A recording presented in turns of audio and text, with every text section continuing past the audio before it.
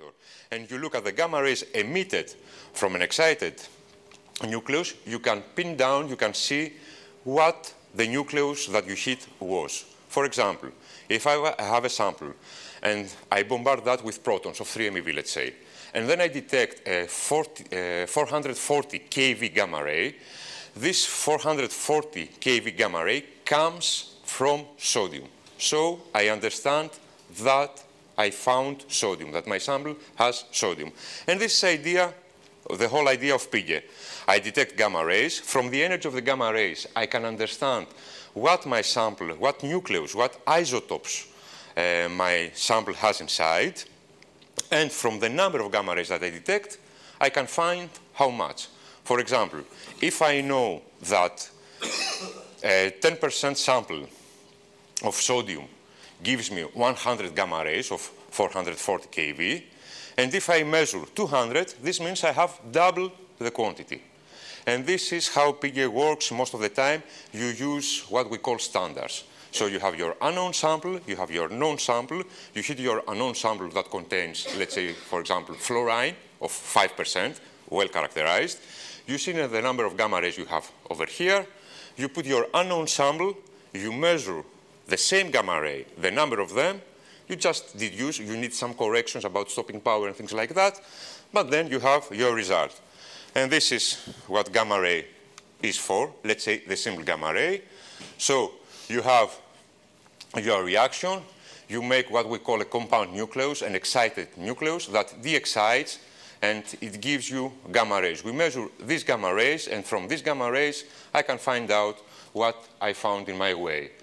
For example, sodium, it gives you this characteristic gamma ray, 440. For boron, you have 2000, 2 MeV. You have beryllium, you can see fluorine. As I told you, this will, you, we can use it also for hydrogen, but it's not for all light elements. For example, if you use PIGE, you can't see carbon. Why? Because the first excited state of carbon is at 4.4 MeV, very, very high and with very little probability. Remember what we said on Tuesday, the quantity that I have for the probability is the cross-section how possible is to have this reaction. So the reaction of protons with carbon is very, let's say, rare. It's not very strong. And also the gamma ray that it gives you is very, very high. In order to populate this uh, gamma ray, I have to use protons of 6 MeV. It's not easy to find protons of uh, 6 MeV in uh, normal accelerators. The same holds also for oxygen. So just keep in mind that for carbon and for oxygen, up to now, I don't have any way to see it. Okay, I can't see it with PIXE, I can't see it with PIGE. I need something else. These are some uh, examples and some characteristic uh, samples that were analyzed with PIGE. For example, here we have some golden glazes that were used. As I told you, PIGE most of the times is complementary to PIXE. You use PIXE for the heavy elements, you, you use PIGE for the light elements. And this is a gamma spectrum. So here, as you can see, I can see the 440 kV, So I know that I have sodium. I integrate that, and I know how much sodium I have. Those, those two lines come from aluminum, so I can detect also aluminum. This also comes from sodium. This comes from silicon. This is another example. Uh, one question. Those, of course. Those um, uh, spectra were taken with the same current uh, the same uh, this, current, uh, with the same fluence, let's say? uh, I'm not sure, to be honest. I, I wanted to compare. If you, if you want to compare the standard with the sample, you have to keep the same fluence, of course. No, but I mean, if for a sample, if for a, let's say you have a sample with 50% copper and 50% mm -hmm. something that you can see aluminum or something that you can see with PIGE, are you going to obtain more or less the same count uh, on both detectors or are very different those numbers? Uh, no, normally you want to have both detectors the same current okay. most of the time. Most of the time you do the same measurement, the same experiment. So you keep the same fluence until you see, if you can see what you want to see. Because maybe you have, let's say, let's take sodium. Maybe you have something like 0.01% of sodium. Yeah, this peak will never get out of the background, whatever you do. So there is sodium, but unfortunately, you are, it's under your low detection limits, so you can't really see that. Uh, this is another example, okay? It's an analysis of an Indian pigment gallstone. So here you have the PIXE detector and the PIGE detectors. Here you can, here you can see that you have all the heavy elements. You have bromium, zinc, uh, copper, uh, iron, chromium, titanium, things like that. And you use the PIGE detector for the light ones, aluminum, sodium, magnesium. Sorry, this is a nice example. This is something uh, I liked very much. This is a painting that uh, was somehow and somewhere restored. This means that it was destroyed in some places, and the conservators go there and just filled in the, um, the gaps. Now, the thing is that this, uh, the original painting had some blue. In that time, when they wanted to produce blue paint, they were using this semi-precious lapis lazuli. Uh, lapis lazuli. So, in order, in that time, to make the paints, they had lapis lazuli, they were breaking it, they were making the blue paint, and they were using that over here. The conservators, that they conserved that at the 20th century, they used, uh, let's say, the same paint, the same color, but of course now this is artificial. And nowadays we don't use lapis lazuli in order to make the same color. It is purely artificial. So the guys over there, they wanted to see which parts were restored and which were the original ones. Now the trick with lapis lazuli is that lapis lazuli has sodium inside by itself, while modern paints don't have sodium. So they said, let's do the same trick. Let's hit at some areas and see if we have sodium or not. If we have sodium, this means this is an original paint, it's the original part of the painting, while if I don't see any and sodium, this means that this was restored in some uh, time. And as you can see, these are the two spectra. Here, you can't see anything at 440 keV. So you conclude that this was a restored area. While here, you can see this nice peak at 440, okay, 441 keV. This means that this region where you hit is an original one made with paints made from uh, lapis lazuli. And here you can see again that they used, of course, we have a painting. You can't put the painting under vacuum, so you used the external beam setup. Now let's go, of course. Since you are going to RBS, can I ask one or two questions about of course. PIGE? So, uh, uh, could you could you comment on the comparison of PIXE and PIGE, taking into account that PIXE actually has more or less quite smooth cross sections for excitation, while PIGE, in my understanding, Has has very uh, uh, uh, uh, resonances. uh, it has resonances. So, I mean, there are two problems. One is the resonances, another one is that for different elements you have different resonances. Uh, so, is it really possible to say, okay, I'll, I'll for thick target or even for thin target, I want to use PIGE for every light element, This, or you have to be really strict and focused no, and strict, strict, you don't have to be strict, absolutely strict. What does it mean? If you want just to see one element, first of all, let's take things one by one. As it's complementary with PIXE, most of the times you fix your energy according to PIXE. Most of the times. Okay, so PIGE follows. Right. Let's say now you don't, have PIXE and you want just to do PIGE. So just PIGE. If you have just PIGE and you want to see one element, then you will go, let's say, to an energy that is high with a good cross section, and then you're finished. If you want to see two, three, or four, or five light elements, then you will go at an energy the highest for all the elements. If you can, you want to take all the, um, all the resonances into this region. So normally you don't have any problem using PIGE. If you refer what, at what we call resonant PIGE, how you use PIGE specifically just for one isotope in order to do depth profile, this is another question, and I have it uh, later on. But normally you can see everything. If you have a high energy, How good is, how good is quantification? It's very good. Quantification with PIGE is very good because you have two ways of doing uh, quantification. One is with standards, and one is by using cross sections. By using cross sections, because we don't have a lot of cross section, it's not very good. You will have uh, an error in around 10 to 15 percent. If you use standards, and if your standard is well chosen, this means that your standard, the matrix of your standard, is almost the same as the matrix of the sample that you are uh, looking at, then you could go down to 7%. So it's, is very good. If, uh, I don't know if I answered your question. In general, yes, although my, what I understood, we never did many PG, but always it was quite focused to very few elements and uh, one or two elements, and then one has to find this smooth, more or less, cross-section. You, part. it's, it's, not, it's not necessary. It's not, it's not necessary to be at the smooth part.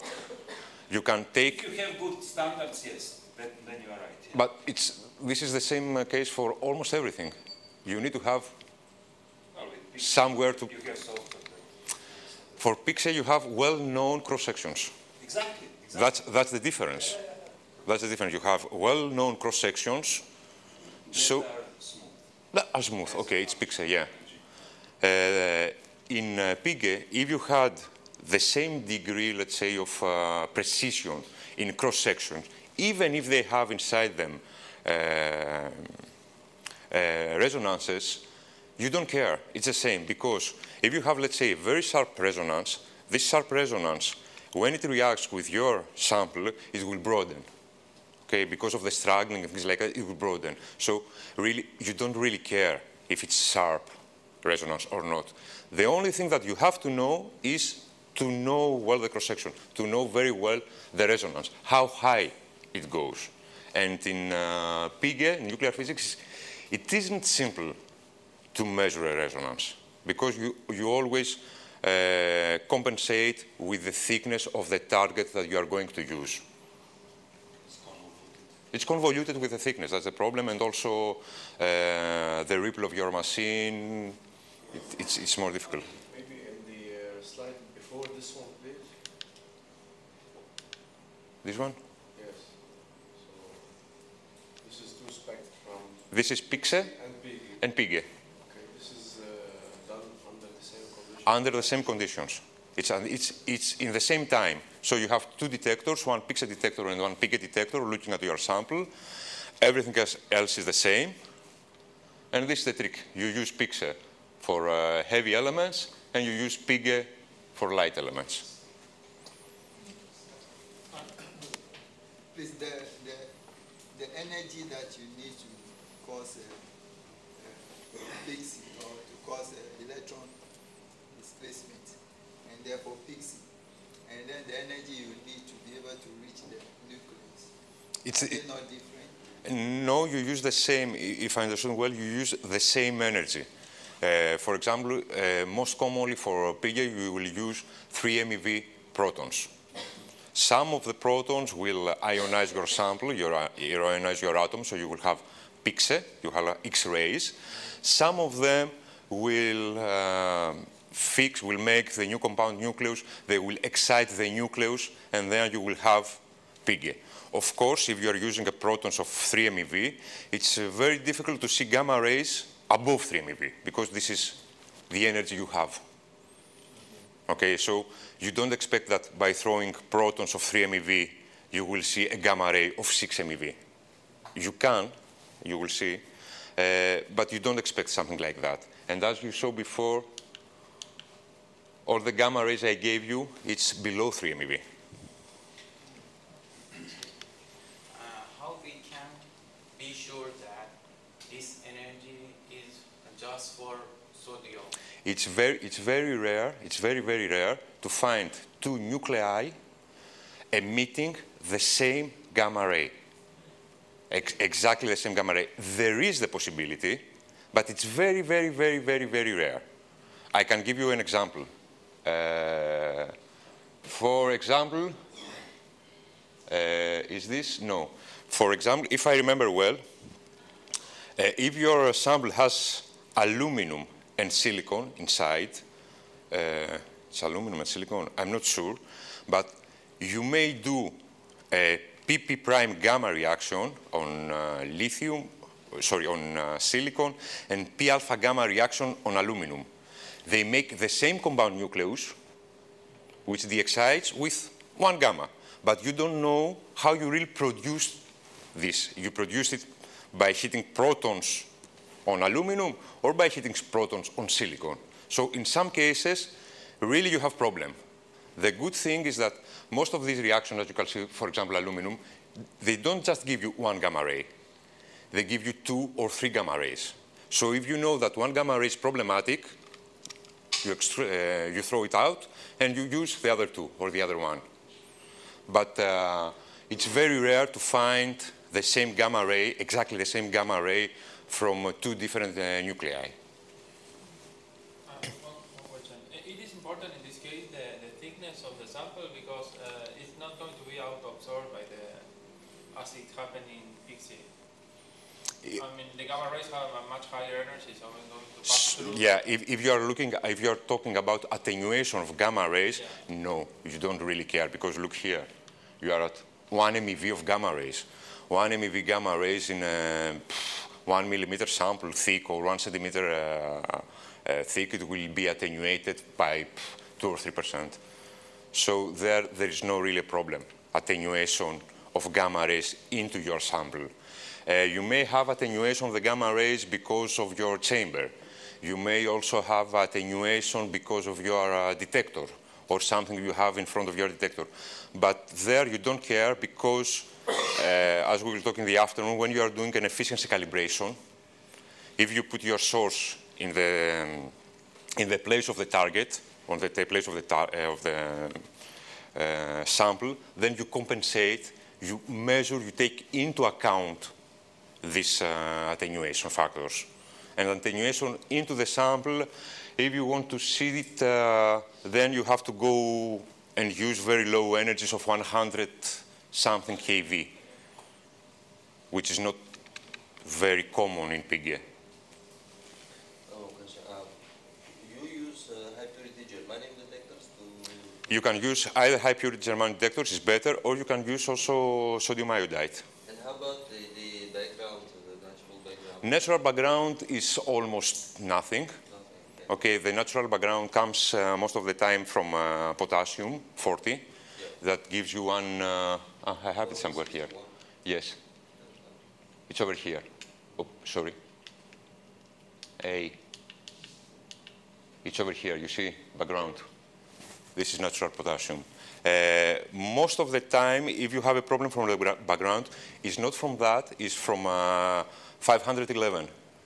Yeah. From this, this gives you a problem sometimes, and especially if it's a beta plus emitter, if you produce something that is a beta plus emitter, and it doesn't give you only the 511.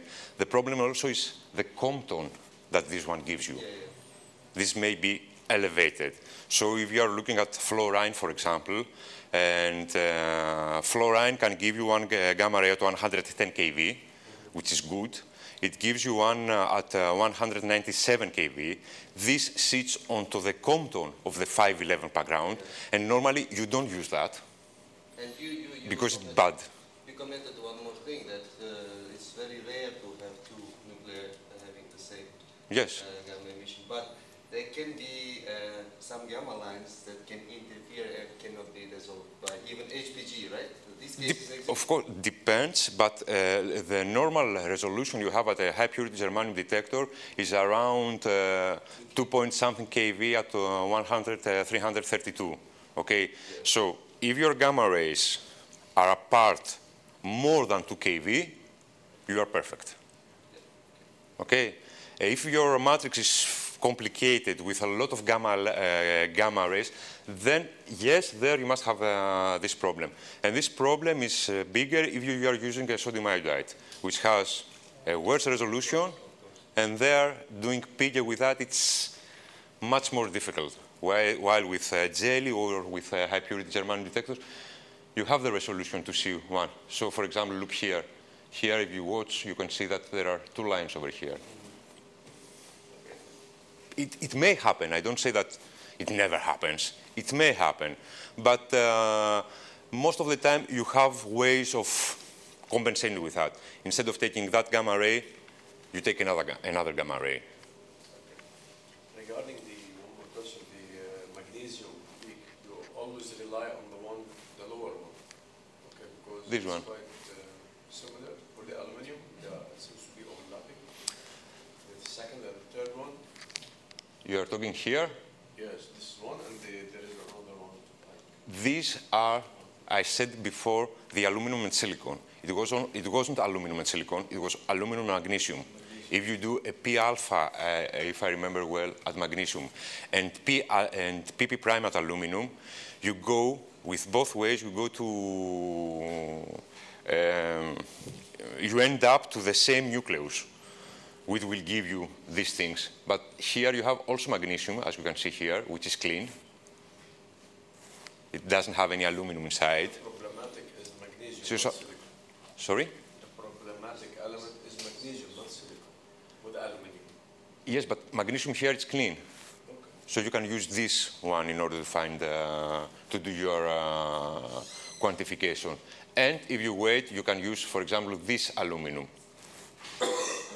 which is, uh, this one, it's uh, 10,014 kV, which is clean, with no interference. This one is the uh, 844, which can be given from aluminum and from magnesium. Should we continue? Are we okay to continue with RBS? Why are you laughing?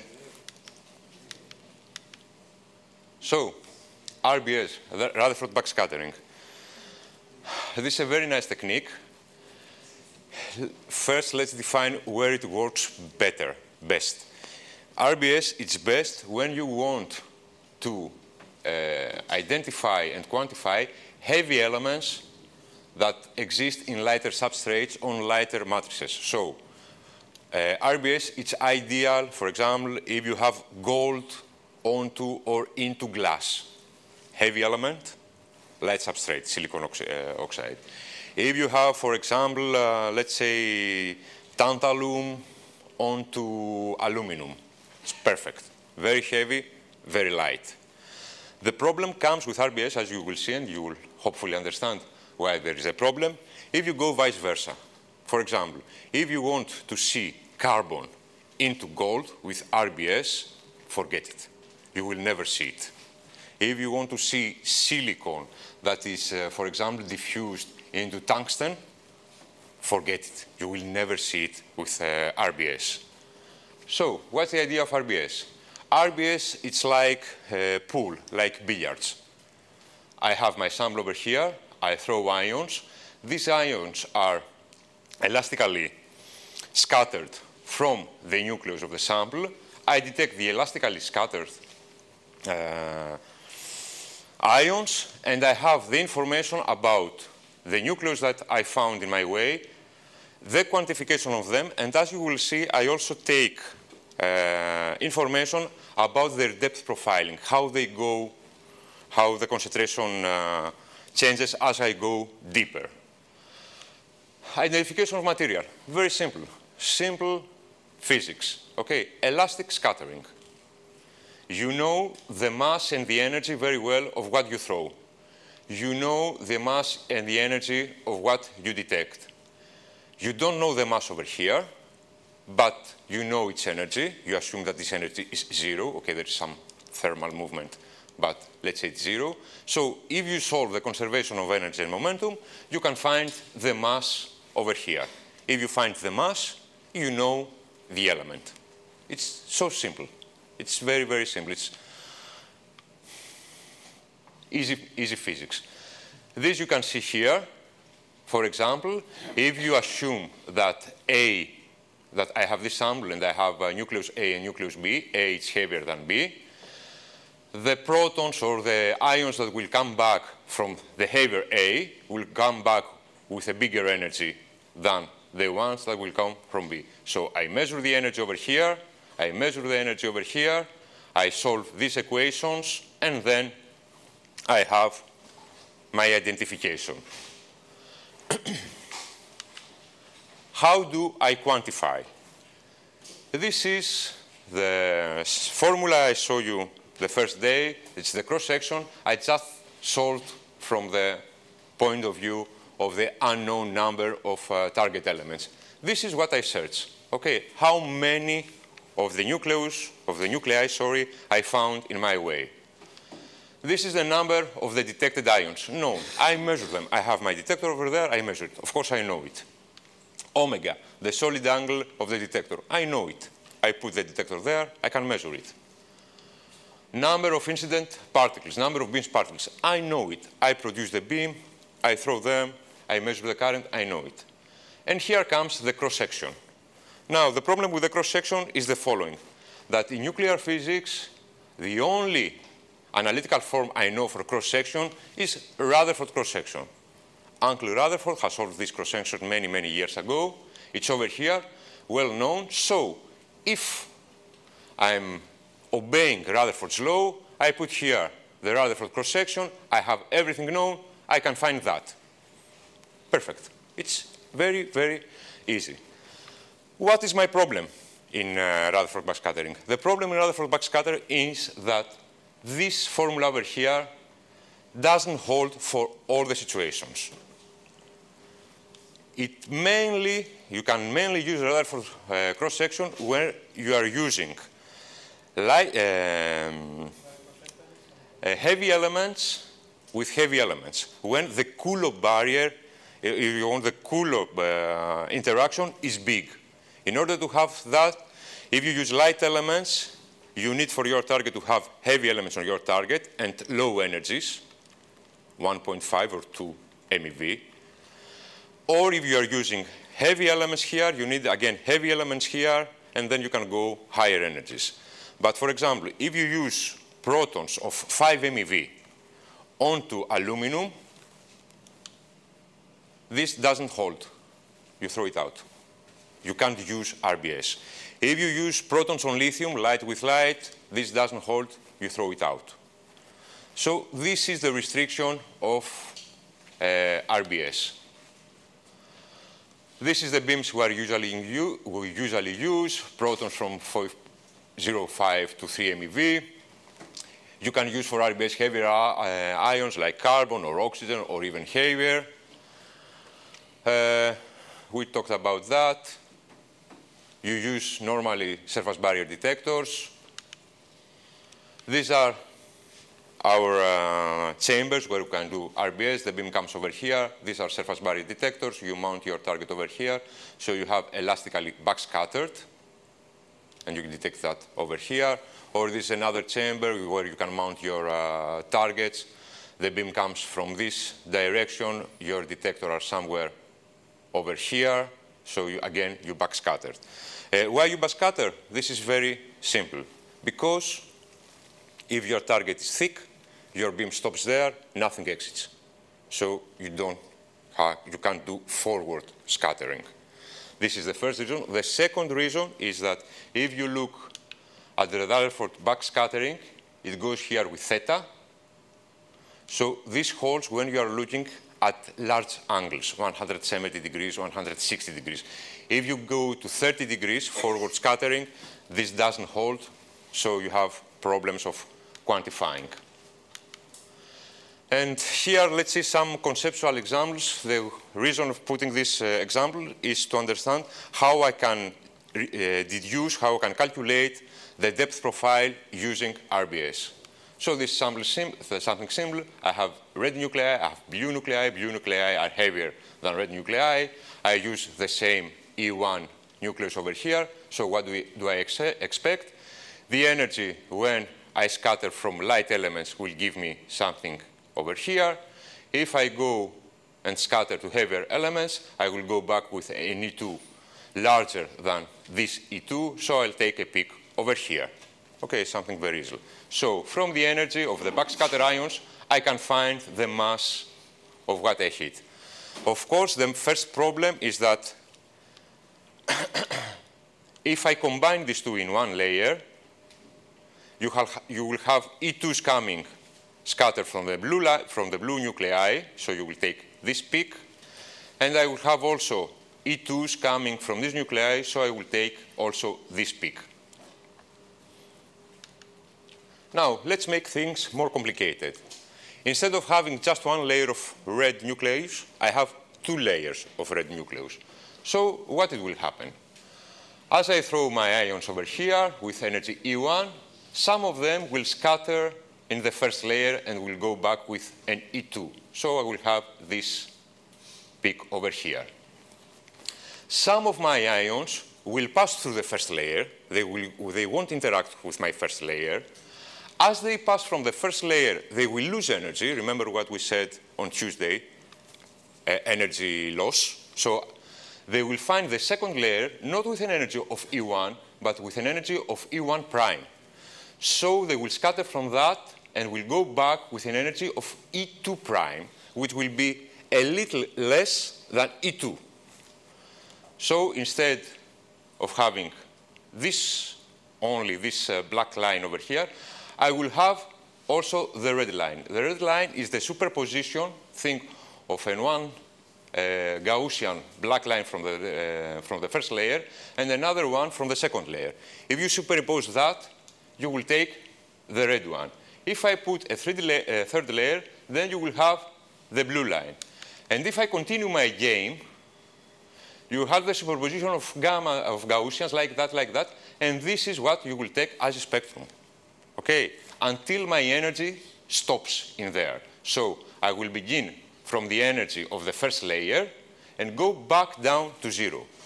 This is what I call a thick target or an infinite target spectrum. When I'm talking about an infinite uh, target spectrum, I mean that I have a target that my beam stops inside. Why it goes up and it's not like a straight line? This is because of Rutherford's law. If you look at the Rutherford's law, the lowest the energy, it goes up. So as I go to lower energies, as I go deeper in my uh, sample, I have lower energies, bigger probability of uh, interaction, and this is what I take. This is the example I show you, and now let's play, play some tricks. What I do here, I take the red nucleus and I put them behind the blue ones. Okay, so what will happen? This is the spectrum I will take from here, but here, as I have the red nucleus behind the blue nucleus, and I lose energy uh, as I will find them, Instead of having the black line over here, my line is over here a little to the left with lower energy. And why? Because my ions lost energy in order to pass the first layer. This is the first indication that I can deduce information about depth profiling from RBS. If I look that the energy comes in a lower position that I expected that, this means that it's not on the surface, but it's deeper inside. Of course, this gives you also the first problem in RBS. If you look at this energy, forget the black line, and look uh, only the red one. This can mean two things. Either that I have the red species behind something else, or that I have a lighter element than the red one on the surface. It could be both.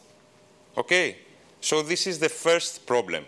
Because I only rely on the energy for RBS, it doesn't mean that I have only one solution. Many times I can find different matrices giving me the same spectrum. Just keep that in mind, that this is the first problem.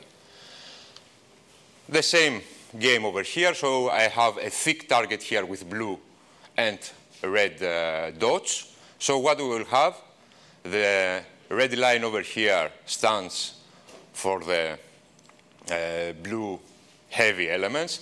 The blue line stands for the light elements, and what I will see will be this, this step over here, which is the superposition of two thick, uh, uh, thick targets.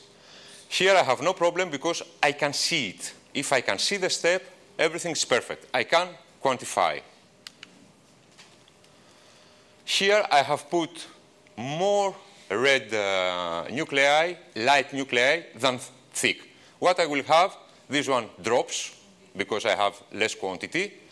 This one goes up because I have more quantity. So the step is more pronounced. Perfect.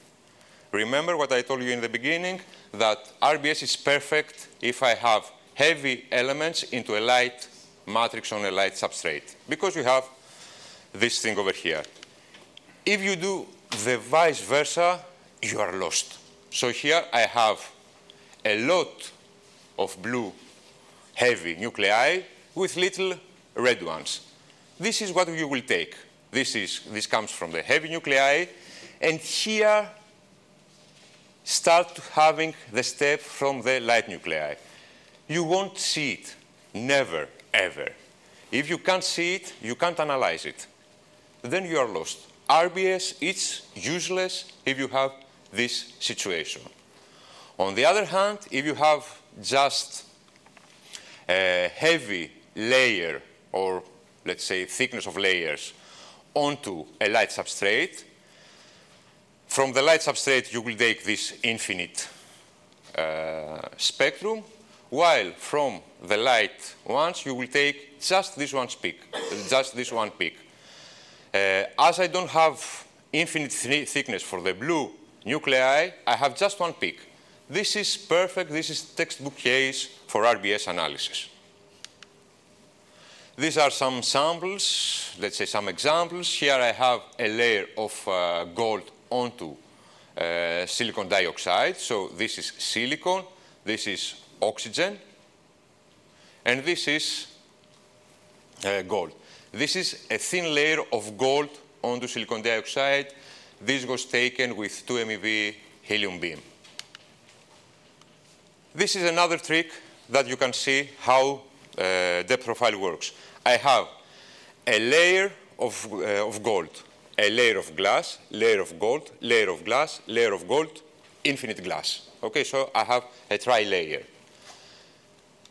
This comes from the first layer of gold. Then my beam meets uh, oxygen dioxide. It will give you this trick over here. Then it meets again gold. Then again uh, silicon dioxide. This will give you this trick over here. Again gold, again silicon dioxide. So from that, you can see layers of gold onto these samples with uh, RBS. Okay, this is something, let's say, difficult, soda lime glass with RBS, infinite thickness, so each step corresponds to one of the, uh, on one of the elements. These are real uh, examples, if you want. This was an experiment we did. We had some uh, gypsum where it was dissolved into uh, lead, and they wanted to see how its lead is absorbed into gypsum. So this is the RBS spectrum from a clean gypsum, while this one over here is from a gypsum that absorbed lead. So if you magnify here, you will see this peak over here. This peak corresponds to the lead, and if you look at the form, the form corresponds to the depth profile of lead. If you had lead only on the surface, you, you should have only a Gaussian over here. But if you look over here, you have a tail. This tail means that my lead has gone into, into depth. Other examples with a proton beam. This is nice. This is a spectrum from an external beam. It's an RBS spectrum from an external beam of, of uh, a glass. Here you can see the peak of helium. This is because in external beams, many times we use helium between your sample and your uh, detectors in order to throw away air. So you can see that, again, you can uh, see the elements. This was done comparison between some clean glasses and some corroded glasses. So for example, here you see that you, had, you should have sodium, and you see that in the clean one you have sodium, while in the corroded one you don't have any sodium. So this means that sodium has been depleted. Again, this was used, an external beam. You can see oxygen, carbon, copper, gold over here. Another example, uh, lead, silver, silicon, oxy oxygen. And this is, let's say, what is new in RBS. As my problem in RBS is how to distinguish between uh, energies, this is what we call high resolution RBS. So what you do is you use your incident beam, but instead of putting here your detector and detect your uh, uh, backscatter ions, you use a magnet. So depending on their energy, you divert to different uh, positions. And here, instead, instead of having a silicon um, surface barrier direct, uh, detector, you have a position sensing detector. And from the end of the um, position of your ion over here, you can identify the species. What's the point of the magnet? Only to have more resolution? More resolution. That's why it's high resolution. Okay, more than... Your, uh, your uh, surface barrier detector has a resolution of 15 to 20 kV. So your peaks, you can distinguish between two peaks between uh, 15 and 20 kV. With this trick over here, you go to high resolution, you have, you go down to 3 kV. So you can see better um, layers, layer structure, and things like that. What, what, do you mean by MCP plus PSD? I believe in this, uh, in this uh, situation, they used also some timing signal. It was with a pulsed beam, and they were using uh, also a pulse. If you're using timing signal, in my knowledge, you, You don't need the position sensitive. you, you don't need even a magnet, you just do... This is uh, uh, somewhere, this is this one, what you are talking about. Is this Exactly, TOF, yes. TOF RBS, where they use, Yes, yes. I don't know why in this situation they used Yeah, both. I two of them. I, I really don't know. But you're talking about this TOF RBS, where here you are using, again, uh, the time of flight, how much time from the recoils will take to reach your detector in order, again, to distinguish masses. This system, this time of flight, whenever you hear time of flight, it's very good uh, for uh, mass, res uh, mass resolution. And for example, here you can see that for gallium, you can distinguish between two different isotopes of gallium, 71 and 69. In normal RBS, you will never, never, never, never see this distinction of isotopes. They are there, but because of the resolution of your detector, they're superimposed, and you have one signal just from gallium. By using this TOF RBS, you can also distinguish um, isotopes. But these are special cases, for example. Yeah, but the, the efficiency of a system like that... It's less. super. It's much less. Yeah, because of the distance, it's much less the efficiency. And That's true. You, don't you have problems uh, damaging your target, for example? No. No, in ion beam analysis, in most of the times, you don't uh, damage your target. You don't have that problem because you are using a beam of 10 to the 10 particles per second, for example. And if you do some damage here, could be only by thermal deposition, not from sputtering, because here you are not doing any sputtering.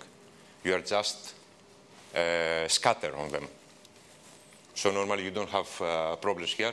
But because of the solid angle, you are absolutely right. The efficiency of this system is, uh, is less than normal uh, RBS. That's true. Uh, efficiency in which terms? Sorry. When you said efficiency is uh, less than normal RBS. Because here the, your problem is that the distance uh, until you find something is much, much bigger. You see, it's half a meter. So the solid angle is very small. If you had only one detector, you would put the detector over here in 30 centimeters, covering a bigger solid angle. So what uh, the number of ions that you detect is much, much, much bigger than the ions that you detect over here. But this one is able to distinguish between. Yeah, you have better resolution, you have better resolution, worse efficiency. Uh, in, in life, you can't have both. you can't have good efficiency, a good uh, resolution. So you use this trick over here, you have better resolution but lower efficiency. You have to wait a lot in order to see that, a lot of time. While if you use your surface barrier detector over here, you will do half the time, one third of the time, but you will never distinguish that. So depending on what, what you want to do, you have to choose what you are going to do. Excuse me. Please, Before, slide, before, before, uh, yes. Uh, there is in a low energy, the tail, the tail of specs go down. No, it should go down. This is, this is because of electronics. You cut it. If, if you look at physics, It's a bit uh, if you, if you look at physics, it would go up. Rutherford says that it would go up. Uh, I don't know if it's, for example, look over here. Okay, it goes up. is taken by proton or helium? helium incident ion or this? Why it goes down? It goes down because of my electronics. If I leave that up, I will have a lot of counts over here that are useless. But this will give me the time. It will slow my system. So I use a threshold and I cut them. It's not sharp. It's It's going like that. You have multiple things. You have multiple scattering also that plays a role over here. You are in lower energy, so you have also uh, uh, multiple scattering that plays a role over here. You have straggling, but normally this doesn't matter. You don't use that. No, when we use the proton for RBS, this uh, form is correct. But, but when we use helium to incident ion, we have this state. It should be the same. No, proton with helium is for the different same state. or It should be the same. for the same. Form is the same. The form should be the same. Why, why would protons have this? What would I, be the reason? my question is, No, but the Rutherford says no. It says. Both should go up. At least when we are doing uh, experiments with uh, protons, it always goes up. It always goes up, and we cut it with uh, discriminators because it's annoying. I don't know if I have a sample of ours here. Yeah, this is. No, the, okay, this is uh, simulations. If I have a real uh, spectrum. Okay, this is a real spectrum, but here we have cut it. Because here it starts going up, if you see. It has the trend to go up, but here we have put a discriminator just not to count a lot. Uh, but from whatever I have seen, it's the same. Protons and, uh, and alphas. And carbon also. We used also carbon. It gives you the same effect. And oxygen gives you the same effect. If you go to low energies, it goes up. Or for example, look here. This is the normal thing. Okay, it's with alphas, but this is the normal thing you should have, going up. Should we continue, or you have other questions? Okay. This is a dream, let's say. It's, I believe it's a Chinese a company that sells that. It's called it Benchtop RBS. So this is a compact accelerator because, as I told you, the biggest problem with uh, ion beam analysis techniques is that they are not portable. They have the accelerator, so the samples must come to the laboratory. You can't take your laboratory to the sample. So this was the idea of having a portable, let's say, accelerator installed with a chamber and an RBS detector. It goes up to 500 kV, so this is the accelerator. Here you have your chamber, okay, and you do uh, your analysis. I don't know how good this thing works.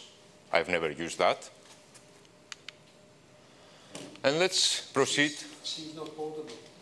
Okay, it's it's two meters. It's I don't know. It should be something uh, 150 kilos, something like that. But it's the best idea I have for, portabi- for portability. Portabi- portability. So move on on elastic backscattering, EBS, or nuclear reaction uh, or nuclear elastic backscattering. This is just a joke, elastic EBS. Normally, EBS is RBS. It's absolutely the same thing. What's the only difference?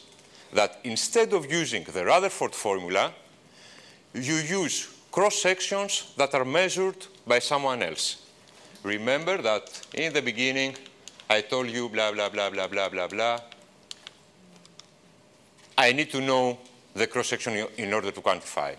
If it's not Rutherford, but somebody else has measured that and gives me the cross-section, I don't care. I have the cross-section. If I have the cross-section, I can do my job again.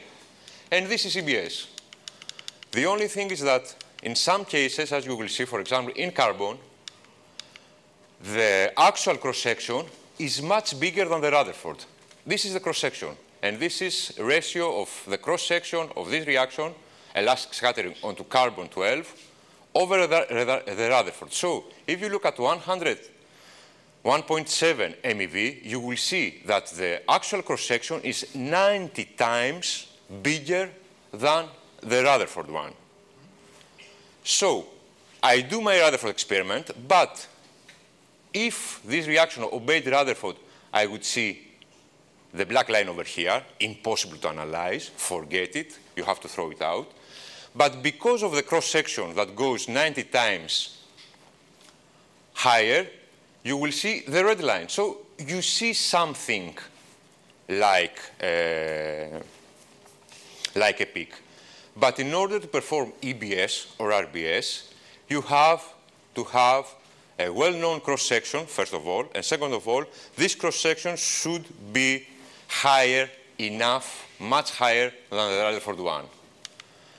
Okay, these some examples of EBS, but this is applicable, as I told you, only for specific combinations of beam and target because of the cross-section that has to be high.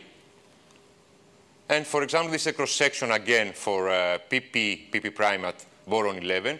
You can see here that I have this resonance that I can use.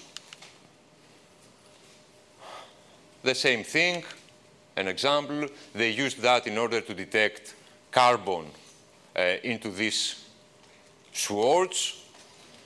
They were able to see carbon, not very well as you can see, but they could see carbon using this exact uh, reaction at this energy, taking advantage of the uh, resonance. But in most cases, when I want to see carbon, I use nuclear reaction analysis. What is nuclear reaction analysis? It's much like RBS. The only difference is that now I'm not using elastically scattering, but I'm doing reactions. So instead of throwing protons and recording, detecting protons, I throw, for example, deuterons and I detect protons. Or I use deuterons and I detect alphas. Or I use protons and I detect alphas or I throw alphas and I detect protons. These are all nuclear reactions. When you have a nuclear reaction, your nuclear reaction can be either elastic, okay, so I have, uh, uh, uh, how it's called, preservation of uh, kinetic energy. It, it may be what we call exothermic. This means that I have to give energy in order that to happen or it can be exothermic, like, let's say, chemical reactions. This means that when I do the reaction, I have a surplus of energy that the reaction gives me. It doesn't know what to do with this energy, and it gives that energy as kinetic, one to the products. The way I measure my uh, reaction, how exothermic or exothermic is, is the Q value. If I have a Q value that is very, very uh, positive, this means that I have a surplus, a big surplus of energy. For example, let's take carbon in order to be, uh, to make myself understand. So let's say that I want to detect carbon. Instead of using protons, I use deuterons. What we will have?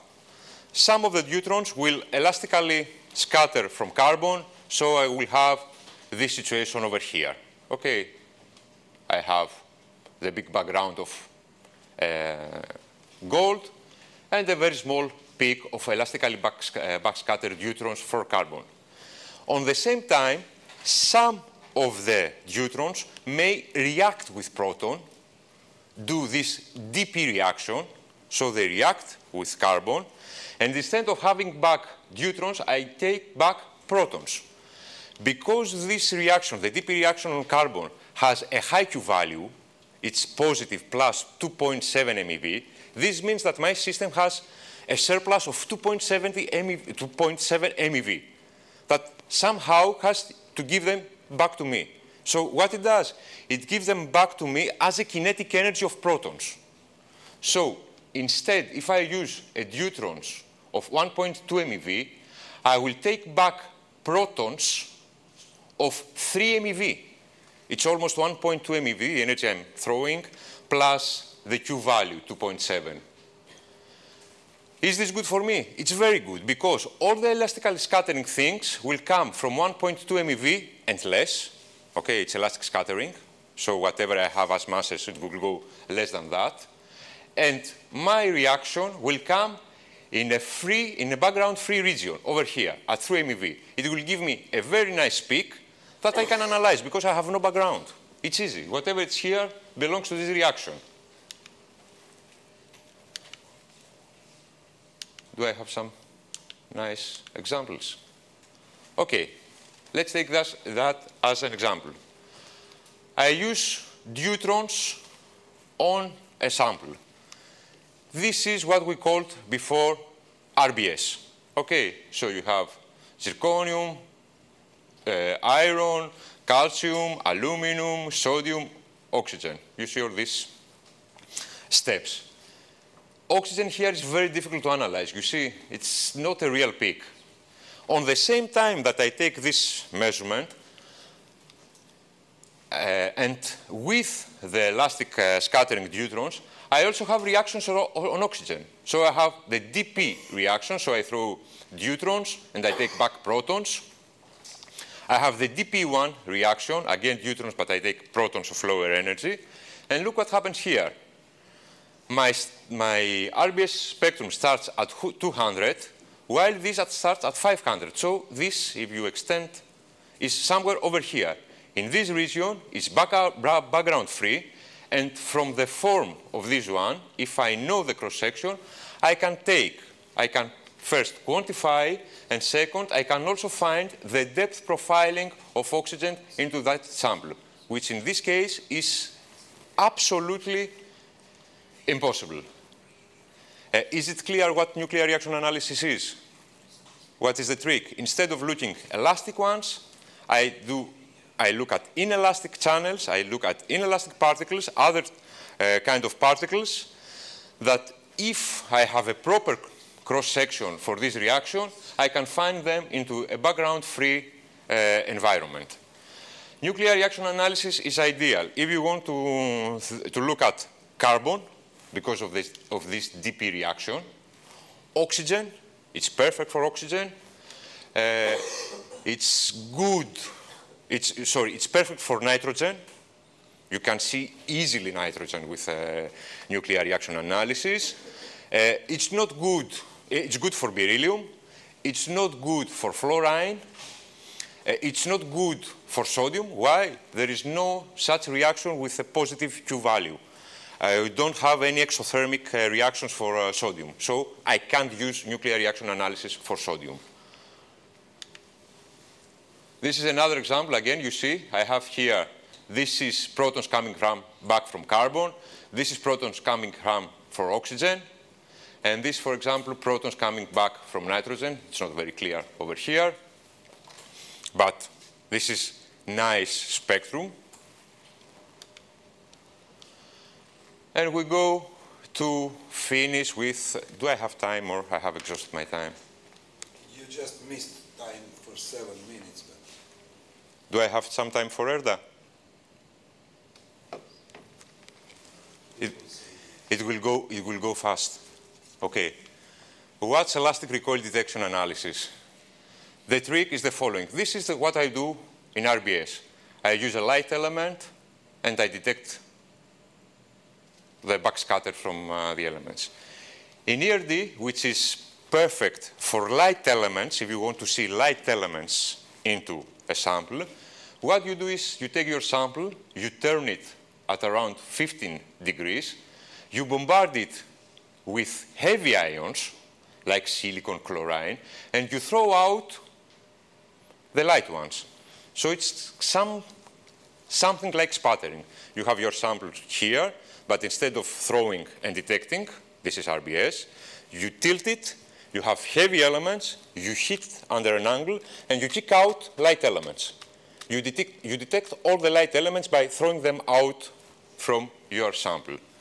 The problem in ERDA is that some of these uh, heavy elements, heavy nuclei, sorry, some of the beam will scatter elastically and will come also into your detector.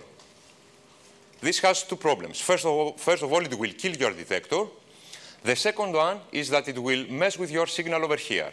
So somehow you have to get rid of your elastically scattered beam.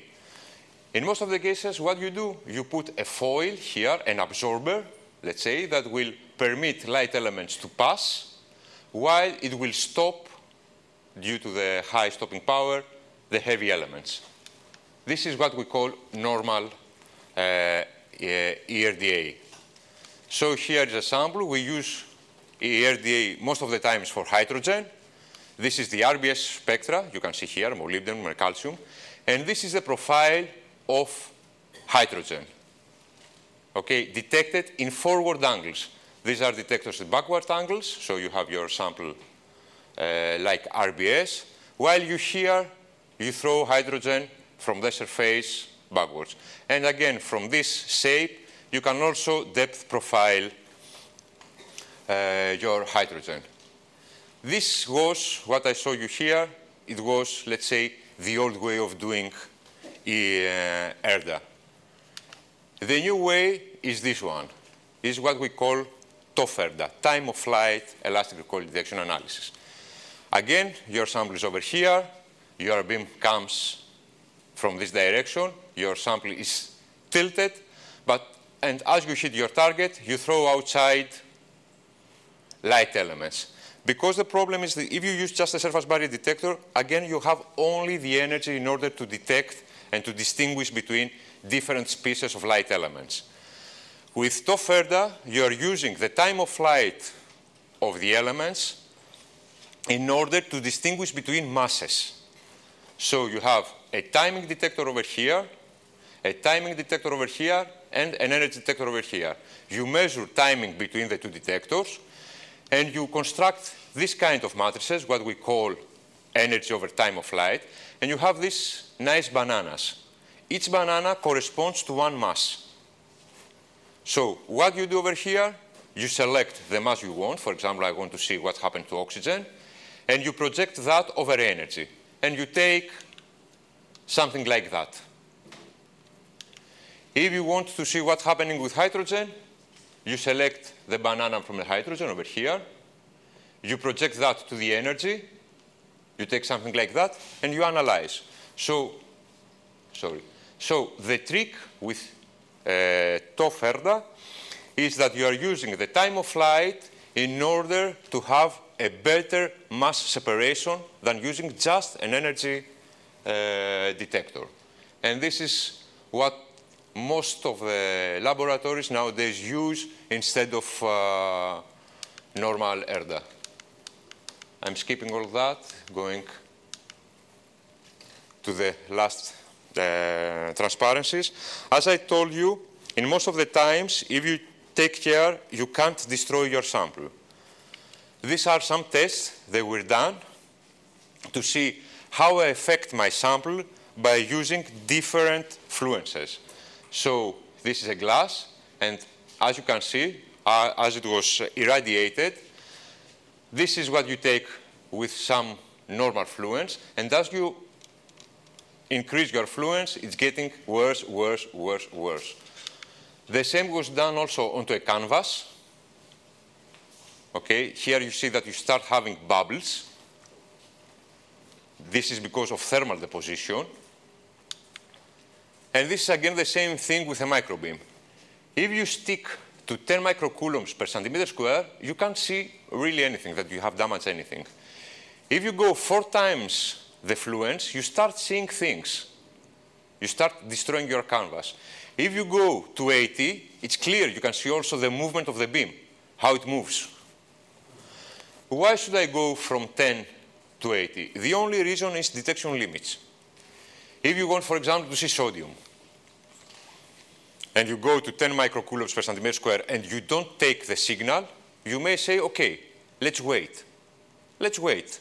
Let's wait until I see it.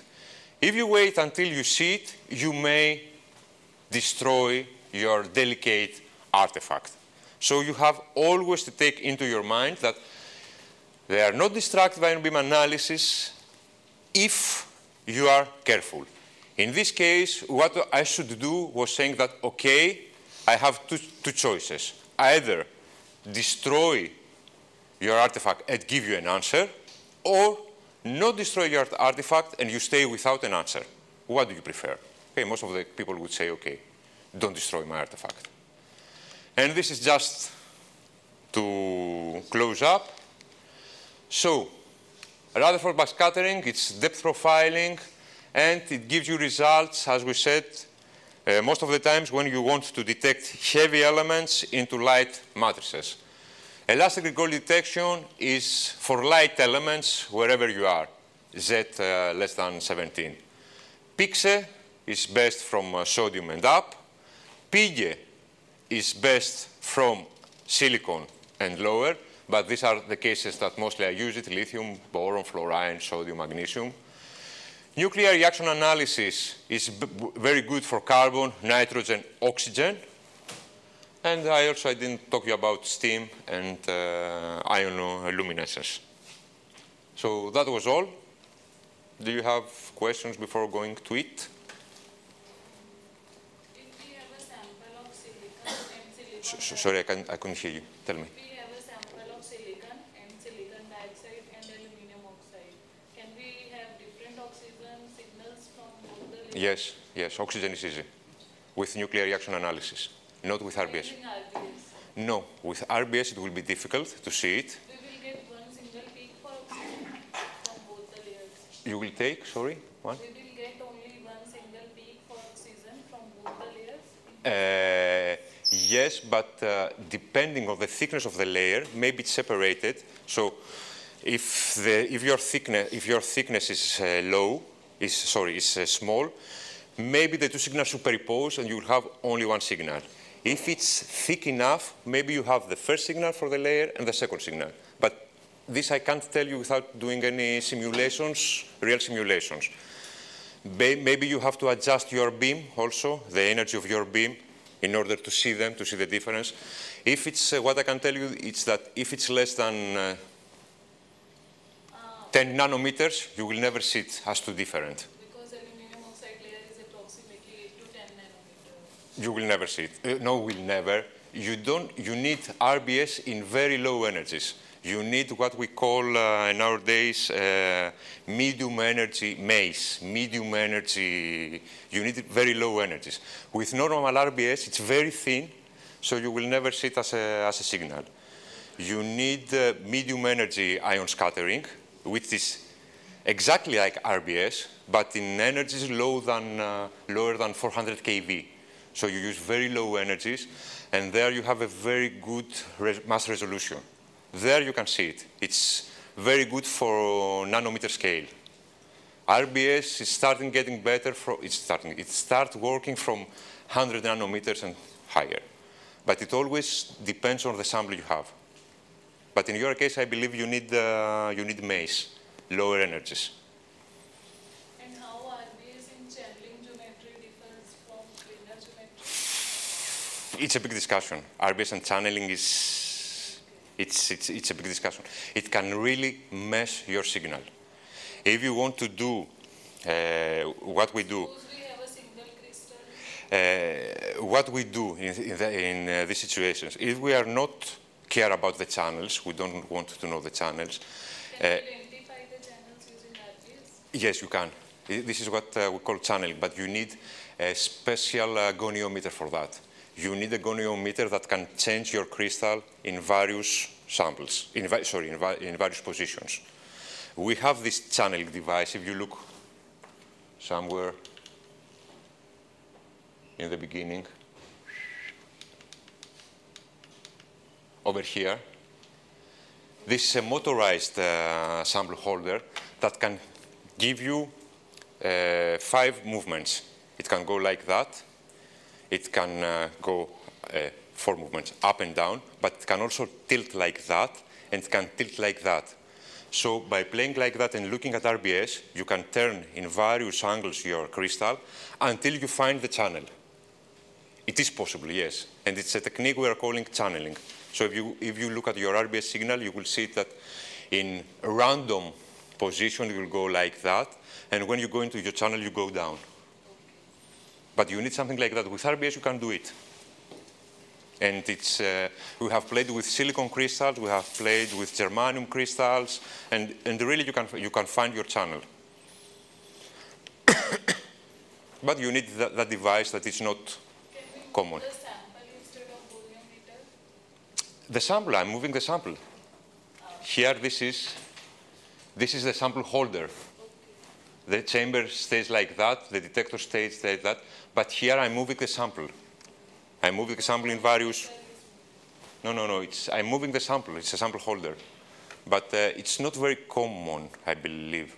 I believe in, you have it? Because I know, If you apply, for example, over the CRP, because I know that uh, most of the laboratories have these movements, maybe also rotation, but they don't have also this rotation. Most of the most of the laboratories, because when you are doing a normal RBS, what you want is to mount a lot of samples into your target. So you just need this movement this is, this is and this movement. of magnitude slower measurement. Yeah, of course. Because you have million 0.1 degrees. 0.1 degree or so, and it, it takes a, a, lot, but it's interesting. But it's, it's, it's done. We have done uh, channeling measurements.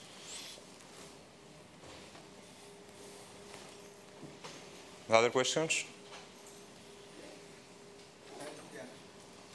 This particular um, chamber, mm-hmm.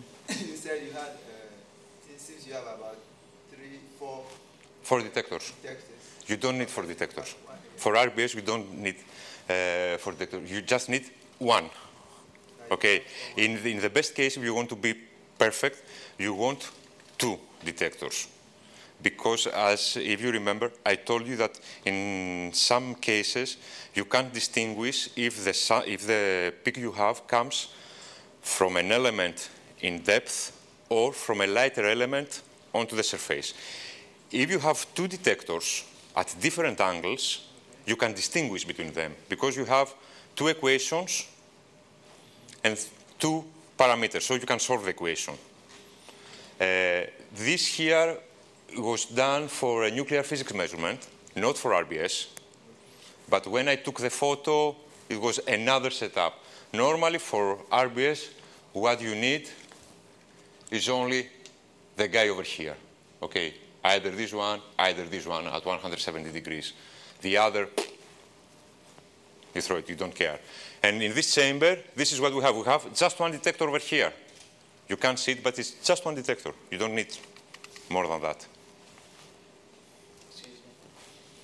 Uh, we are, ERDA have a limitation. And Always. If we increase the, in, uh, the energy of incident beam, Mhm. uh, it transmit the absorber. And we don't reach the depth profile.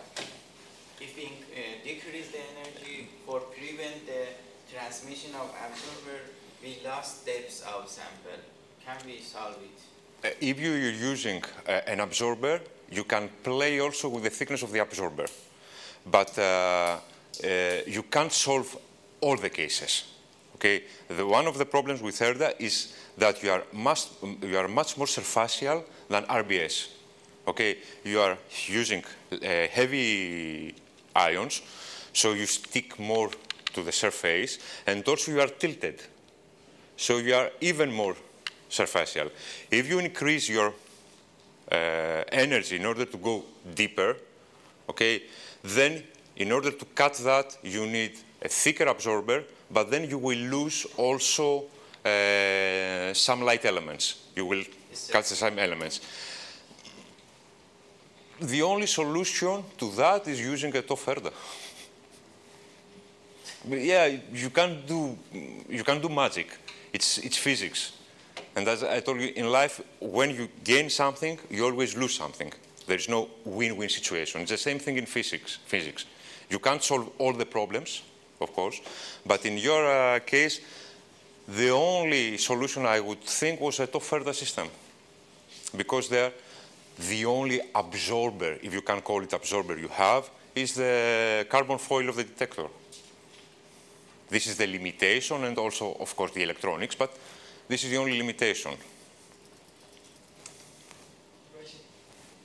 Yeah, please, with the ERD, uh, as you are heating at an angle and you are sputtering the uh, light elements, uh, is there not the risk of uh, polluting your chamber through?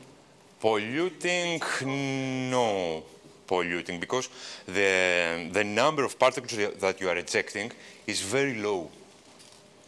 So polluting your uh, chamber, I wouldn't say that. No, not more if you want from uh, doing, uh, uh I don't know, normal RBS. But the amount of particles you are producing, it's very, very low. So it's, if, you are, if you are lucky, if you are lucky, you will take something like, let's say, four or 6,000 counts. It's nothing.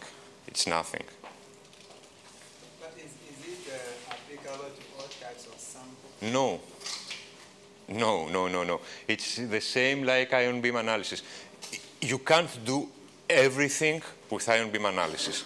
No, also ERDA has some uh, limitations.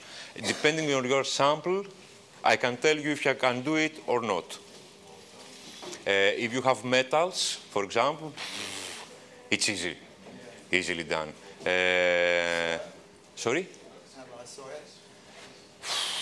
I never tried putting soil into vacuum, to be honest. Uh, I have never tried that because, okay, I believe it can be done, but uh, there you must uh, take a lot of time for sample preparation. So you have somehow to dry soil, you have to make a pellet and if you dry it and make a pellet that can withstand uh, uh, vacuum, yes, yes, you can use that then. maybe with a filter. Sometimes we dilute Also, also you can do that. we are missing time. For yeah, yeah, I, I finished, but I'm just answering questions. Yeah, yeah, but I'm just saying that it's already half an hour past since. Can I stop this? Yeah, yeah, of course.